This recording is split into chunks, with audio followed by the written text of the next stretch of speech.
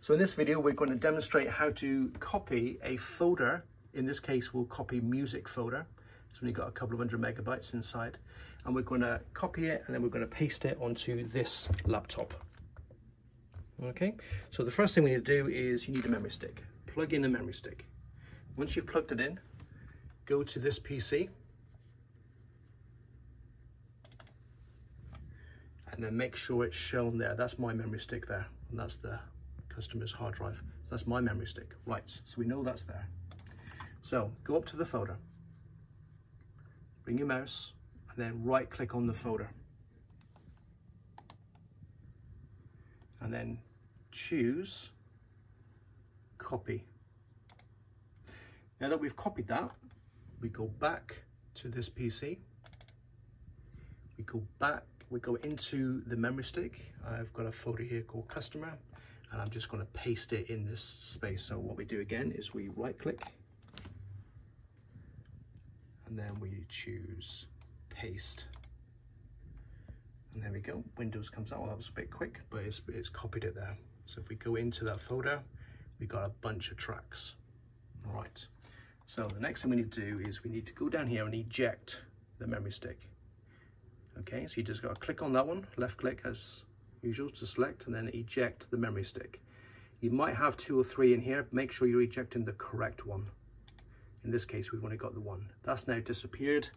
I want to be safe and I just want to, it's gone now, look.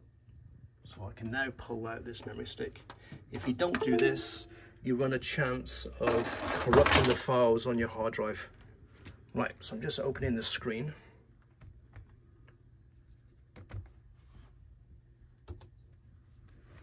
And the computer's turned itself off.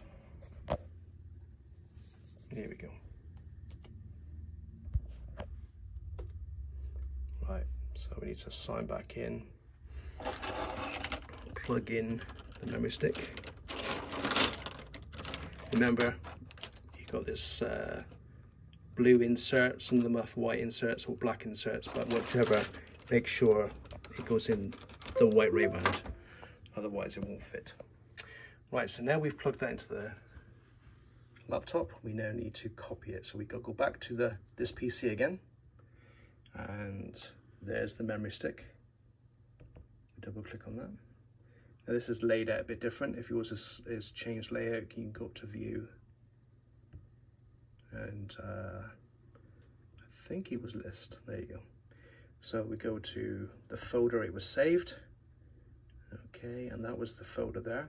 So in this case, on the mouse, on the laptop, we want to left click again, because we're not using a mouse, we're using the mouse pad.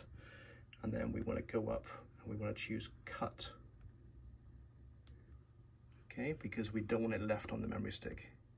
Then, wherever you want to paste it, just tap, tap, and then right click that will bring up the context menu and then we choose paste.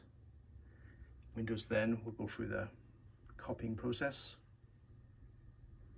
And now you have the folder on the laptop. Go into the folder. And there we have the tracks. Now again, you want to make sure that you eject. And sometimes it's hidden beyond this little up arrow just clip on that. There it is there look just tap on that. And as we've only got the one USB we've only got the one choice. So we just tap on the memory stick. And then on this occasion Windows has decided to tell us that it's safe to remove. So then we just unplug the memory stick. And that is how you would copy files and folders from one computer to the next